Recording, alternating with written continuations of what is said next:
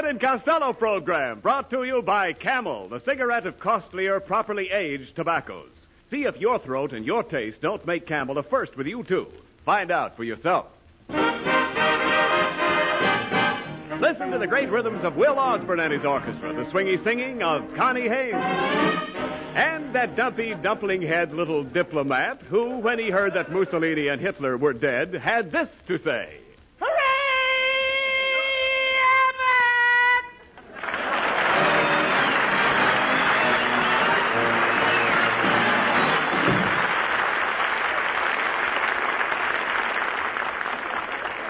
Well, Costello. Costello. It's about time you got here. What were you doing at the music shop down on the corner? Oh, I went in there to get a record of that song about Molotov. A song about the great uh, Russian diplomat, Molotov? Yeah. Uh, what is it called? I came here to talk for Joe.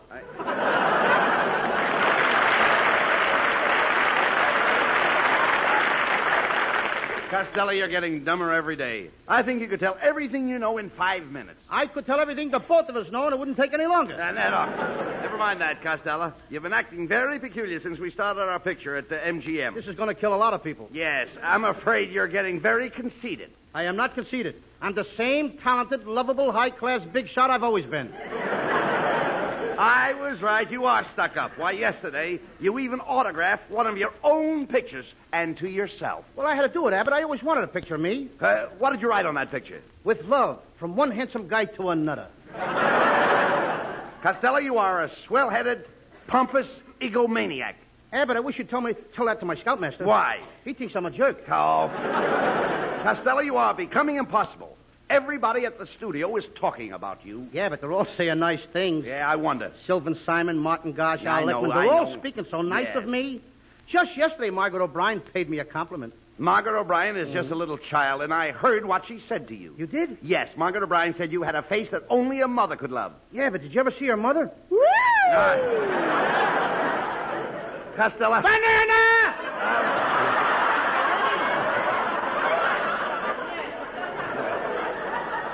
Come here, Costello. You know, the way you've been chasing the girls at the studio set is disgraceful. Those actresses don't want to be bothered with you. You're not the romantic type. Oh, is that so? Well, Judy Garland, she thinks I'm a great romantic lover. She said I reminded her of Rooney. Judy Garland said you reminded her of Rooney. Well, she didn't use them words, but she said every time I kissed her it was like getting a Mickey. Now, listen, Costello, you're a comedian. You'll never be a lover in pictures with your face. Now, what's wrong with my face? I'm getting prettier every day. I'm, I'm getting so pretty that I'm even making my own mother jealous. Oh, Costello, how could you make your mother jealous? She looks at me and gets jealous at the other mothers. Costello, no, nobody is jealous of you. Why, even your new girl, Mabel uh, Mustard Plaster, doesn't give a hoot about you. Is that so? Yes. Well, it so happens, Abbott, that Mabel Mustard Plaster is stuck on me. Last night, her. I don't get it. It so happens that last night, her and me sat in front of the fireplace and watched the coals turn red. Mm, Do you know what made those co- coals turn red? Nothing that we was doing. I now, look, look. Tell me, Costello, when you first met Mabel, were you infatuated? No, but she was about half plastered. Costello, you don't understand. I mean, when you started to woo Mabel, were you uh, smitten? Oh, certainly I was smitten. We were both smitten. You don't think I woo standing up, do you? No, no, no, no. no. Oh, you idiot. I, I was smitten right by the I fireplace. didn't listen. I didn't, please, I didn't say sitten. I said smitten. When you held hands with Mabel the first time, were you uh, smitten? No, sir. You weren't smitten. No, when I hold hands with a girl, I don't wear no smittens. Now, look, look. look, Costello, I'm, I'm only trying to find out how you feel about Mabel Mustard Plaster. Now, if you were smitten with the girl, you might hanker for her. Did you ever hanker for her? I even hankered with her. Oh, no, no, you, you sap. How could you hanker for a girl? Well, it happened last Sunday, Abbott. Mabel and I got in a rowboat and rowed way out to the end of the point. Yes. And we hankered there all day. Boy, did we have fun. I wasn't even wearing my smittens. It wasn't cold. No, no, no. No, Costello, you're confusing the issue. You're talking about anchoring a boat, and I'm talking about hankering for a girl. Now, hankering is like yearning. Tell me, are you yearning for Mabel? No, sir. I'm yearning for myself and my father. You yearn for yourself and your father? Yeah, I make $20 a week, and my father takes half of what I earn. No. Costello, when I say yearn, I don't mean earn like uh, in earning. I mean yearn like in yearning. And to yearn, you must be smitten. If you are smitten, that constitutes infatuation. Oh, when you say yearn, you don't mean earn like in earning. You mean yearn like in yearning. And to yearn, you must be smitten. If you are smitten, that constitutes infatuation. Now you've got it. Now, I don't even know what I'm talking about. Costello, forget about being a dramatic actor. You'll never be a success as a ladies' man. oh, no? Well, for your information, Mr. Rabbit, there's a dozen women in Hollywood tearing their hair out just to have a date with me. Well, why don't you go out with them? Who wants to go out with bald-headed women? Oh, get me out of here.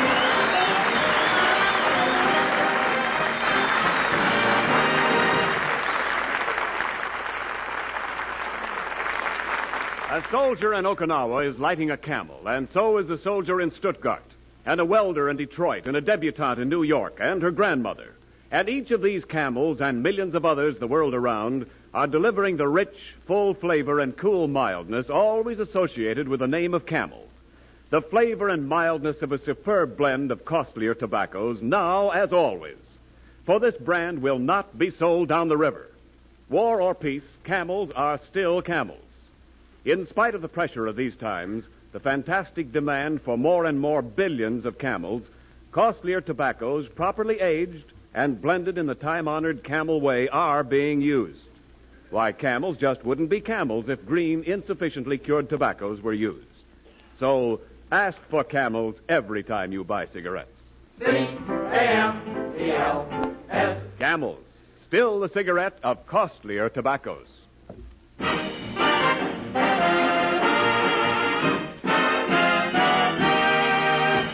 Folks, last week at rehearsal, a young fellow walked in the studio and started singing, and nobody stopped him. Up until a short time ago, he was an aerial gunner in a B 17, and nobody stopped him there either. And after you folks hear him tonight, I don't think you'll ever want him to stop.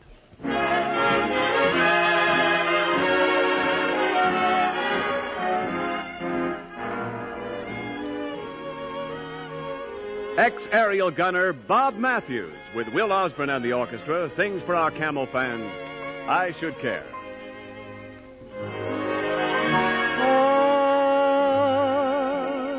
I should care. I should go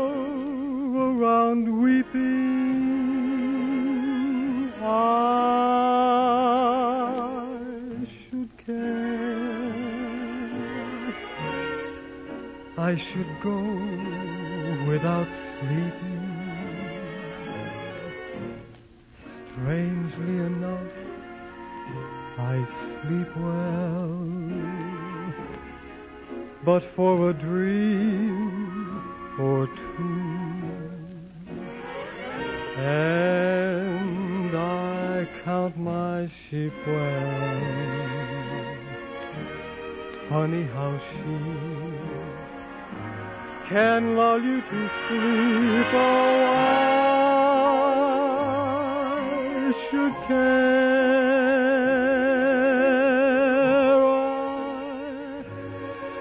Should let it upset me. I should care.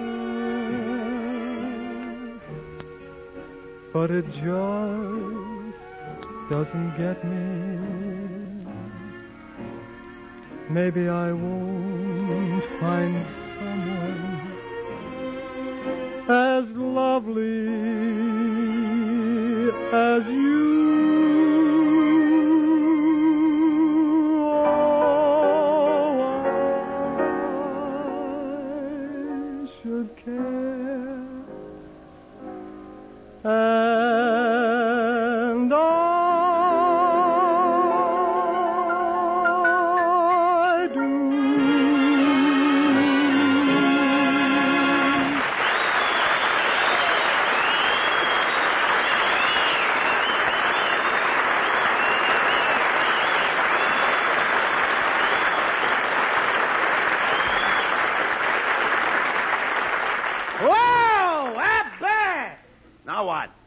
made up my mind. What do you mean? I ain't gonna act no and no more comedy pictures, no more. I'm too pretty to be hanging off the back of fire wagons. Getting basketballs bounced off of my head and having oysters squirting milk in my puss? Oh, calm No down. No more. Calm down, All right, tell Costello. Simon, that's Never it. mind. Listen, no more of that. Now, look, you're a comedian. You can't be a dramatic actor. That takes training and background. Oh, I got that, habit. My whole family was high-class actors. My Aunt Minnie was a fan dancer. A fan dancer. Yeah, and one time when Aunt Minnie was doing her fan dance, a mouse ran across the stage and my Aunt Minnie dropped her fans. And what happened? The mouse fainted. Uh, Did they get rid of the mouse? Huh? Did they get rid of the mouse?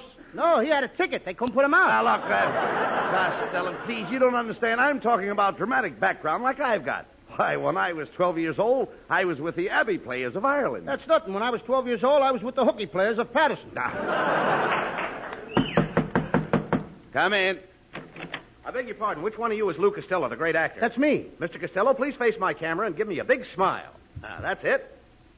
Thank you. Thank Ah, thank you, Mr. Costello. And uh, don't forget to look in the paper tomorrow morning. Will my picture be in? No, but Dick Tracy's in a terrible mess. I'll bet that guy is Measles' brother, chickenpox. Hello, yes, this is Bud Abbott. Okay, I'll tell Costello. Hey, that was Universal Studios. They said they are sorry they won't be able to complete our latest picture, The Naughty Nineties, until they are able to secure a dramatic actress to play the final scene. They said that Bette Davis, Katharine Hepburn, Joan Fontaine, and all the other dramatic actresses are busy, and our picture will have to wait. Uh, did they realize that this is a half-hour program? Why, what's wrong? They said all that just now? Yes. We must be running overtime, brother. Never mind that. Costello, this is your big chance to prove your acting ability. I'm going to get you some women's clothes. Take you to the studio, and we'll see if you're good enough to fool the director into letting you do the final scene. But they'll recognize me. They know all the dramatic actresses. Yes, but they don't know all the South American dramatic actresses. Oh, I get it. You want me to be another Carmen Miranda? That's Carmen Miranda. With my shape, it's Miranda. Some people even think I'm a stoop. All right, look. Come on, Costello. I'll take you to Professor Melonhead's School of Spanish Acting and have him coach you for the part.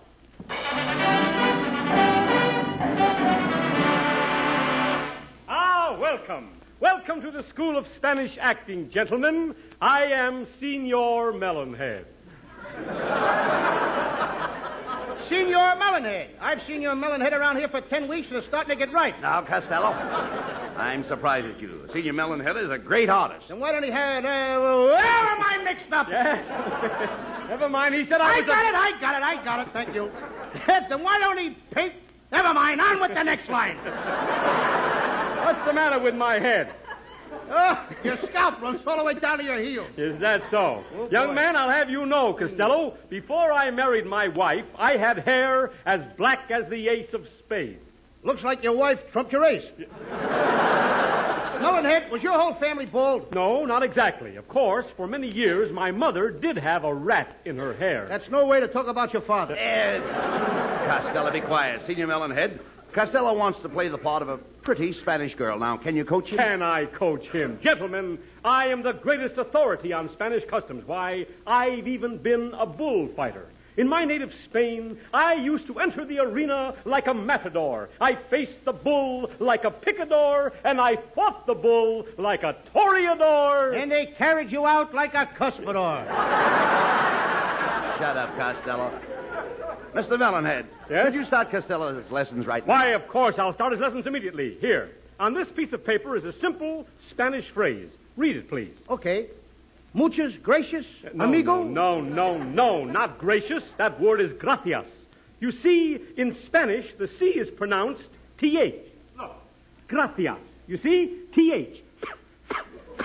You see? Would you mind putting your head some... Get over there! In Spanish, the TH.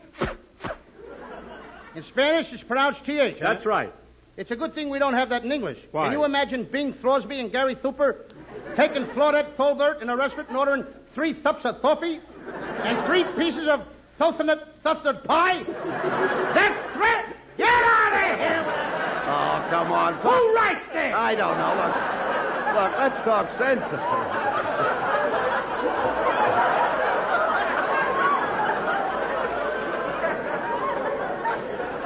Let's talk sense, Costello. Come on. Let's get on with the lessons. Very well, Mr. Abbott. Now, Costello, we'll say that you, you are a lovely Spanish senorita. You meet a gay caballero at your fiesta.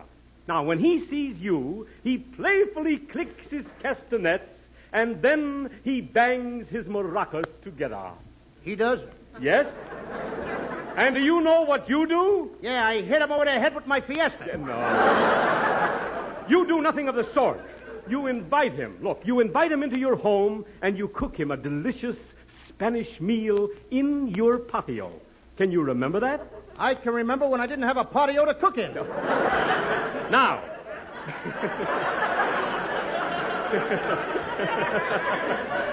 All right, now, Costello, while you're cooking the meal, the caballero strolls into your kitchen. He admires your frijoli. He slyly sprinkles he slyly sprinkles cheese on your tortillas, and then he pushes your enchiladas on the back of the hot stove.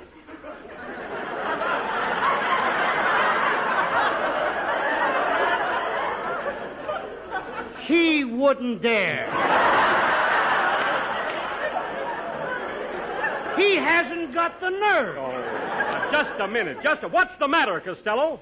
Melonhead, this time you have gone too far. I didn't mind when that cab driver clicked his gasket. I said nothing when he banged his bazookas together, right in my Fiesta. But when you make him push my poor old Auntie Lottie on the back of a hot stove, you have not only impugned my good name, but you have cast a smirch on the good neighbor policy, muchas gracias, without a TH, and that's that. Oh, get him out of here.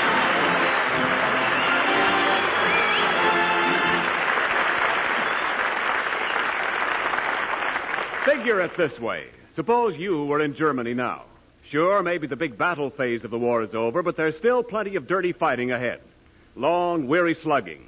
You're standing at what used to be a street corner in a smashed Nazi town, and a GI comes up to you and says, How's for a cigarette, bud? Would you give him one? And how you would. Why, you'd even give him the last one in your pack.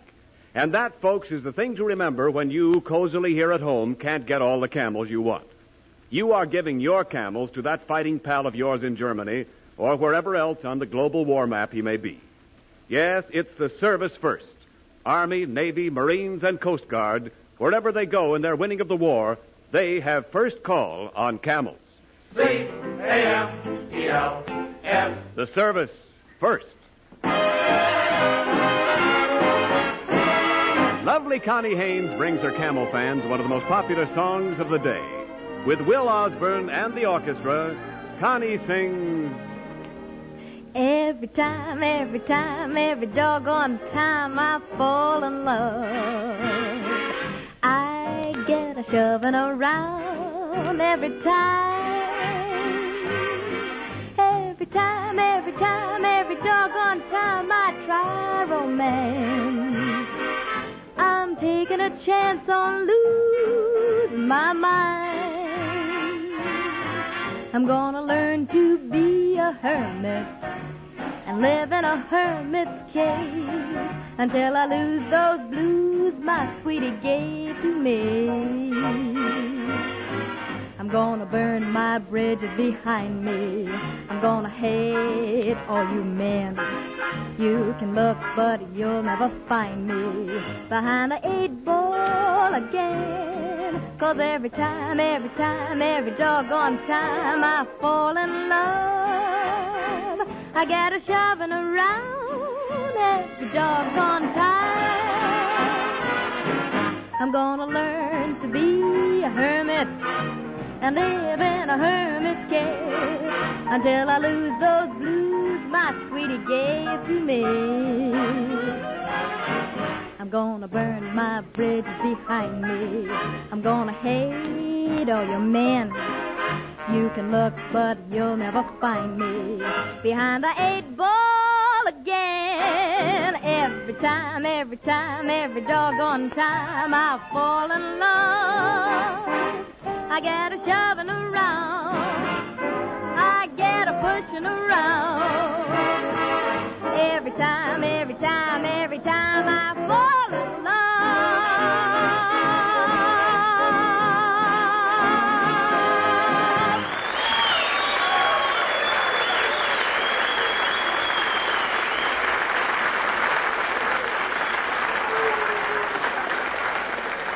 Well, Costello, here we are at the studio. Now remember, you're dressed like a Spanish lady, so act like one. A- And please straighten up. You're all stooped over. I can't help it. It's a long pull from my garter belt to my socks. Quiet, quiet. Now remember, Costello, this is your chance to prove to the director, Mr. Technikolovich, that you're a great actress. Come on. Ah, Mr. Abbott. And who is this beautiful young lady with you? Uh, Mr. Technikolovich, allow me to introduce the famous South American actress, Luisa Castellio. Ah, Senor Technikolovich. Hacienda Buenos Aires, La Cienega, Sunset and Vine. now, what's wrong with that, The senorita does not speak English. Uh, not a word. Mm, Mr. Abbott, she is wonderful. She is the most beautiful girl I have seen since I left home. No wonder he left home. What? Senorita, a moment ago you didn't speak English. I learned fast. Oh, senorita, you are ravishing. This is the first time I ever saw a leading lady. Stop looking at me with those eyes, brother. But it's still the first time I ever saw a leading lady with muscles. Tonight I will take you to dinner, yes? Yes. Then I take you to the theater, yes? Yes. And after that I take you to my apartment, yes? No. But, senorita, I have something to show you. I have etchings. You have etchings. Then scratch yourself, brother. I'm getting out of here. Come on, Abbott. This guy's got eczema. Now, now, now wait a minute, Senorita. Mr. Technikolovich is a great director. He can make you a star. I will give her the Lubitsch touch. If he lays a finger on me, I'll scream. Lay the finger on me. We will make a scream. Banana!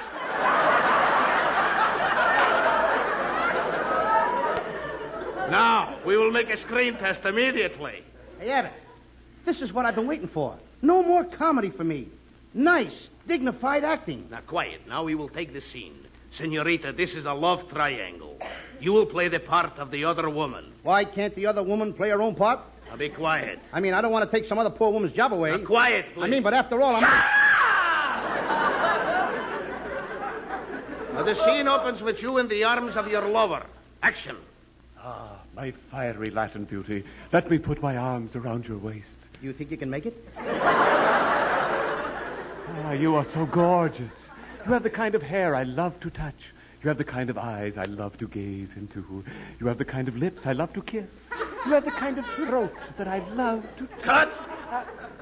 Senorita, you are too cold. Have you never been in love? What do you do when a man tries to kiss you? I belt him in a kisser. Will you be quiet? I mean, but I'm only trying to tell you that there's a limit.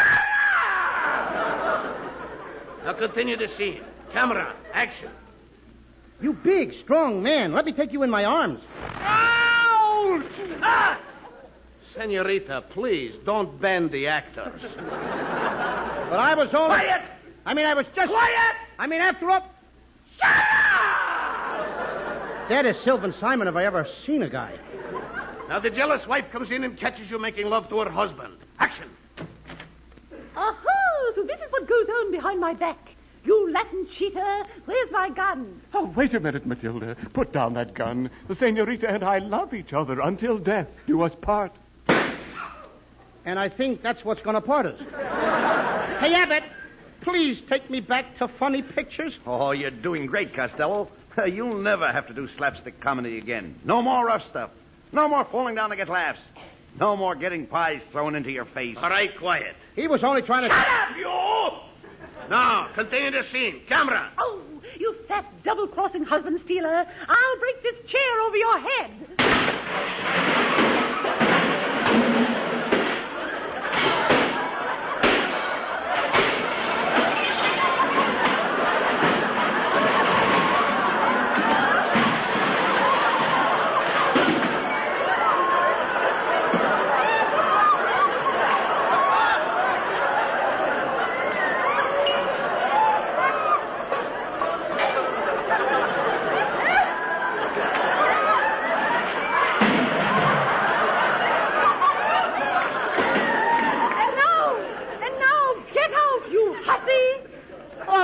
Before I go, I'm going to take this lemon pie, the pie that I baked for your husband. But you used my eggs, so the pie belongs to me. It's my pie. It is not! It's my pie! It's my pie. Cut, cut. I'll settle this. This bickering is disgraceful. Senorita Costello, give me that pie. What did you say? I want that pie. Give me that pie. Okay, but remember, you asked for it.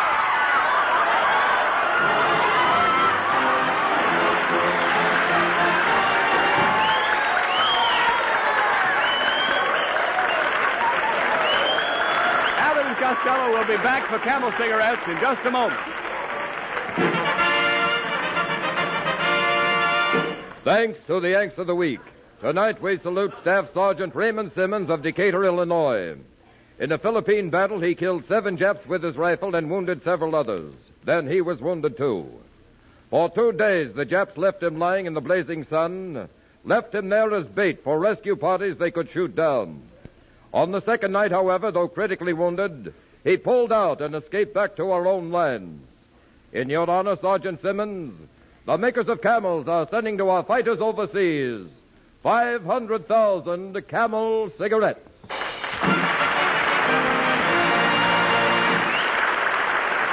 Each of the two Camel radio shows honors a Yank of the Week by sending free 500,000 Camel cigarettes overseas. A total of more than a million camels sent free each week. Camel broadcasts go out to the United States twice a week, are rebroadcast to practically every area in the world where our men are fighting, and in cooperation with the Good Neighbor Policy, also to Central and South America. Listen again next Thursday to Abbott and Costello.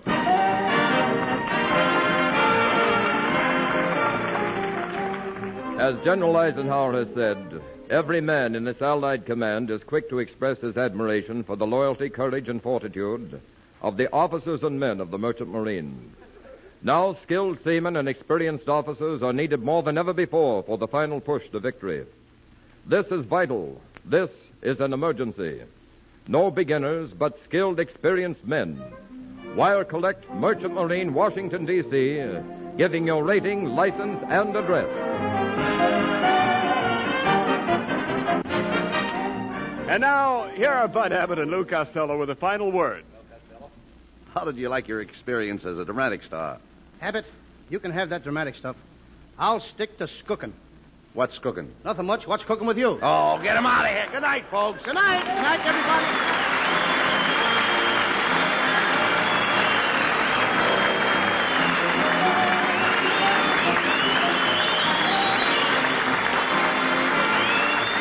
Yes, folks, be sure to tune in next week for another great Abbott and Costello show brought to you by Camel Cigarettes. And remember, camels are worth asking for every time. See for yourself how Camel's mildness, coolness, and flavor click with you.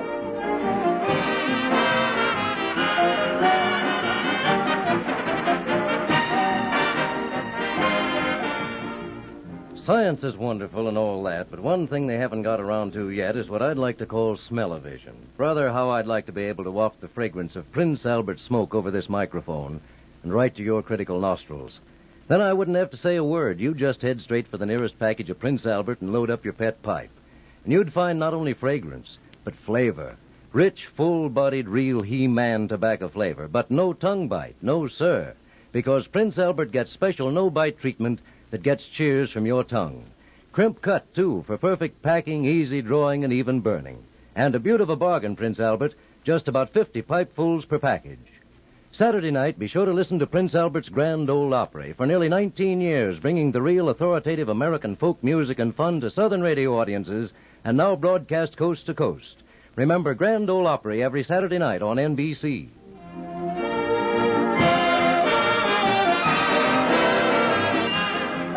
The Abbott and Costello Show for Camel Cigarettes will be back at this very same time next week. Don't miss it. This is Ken Niles.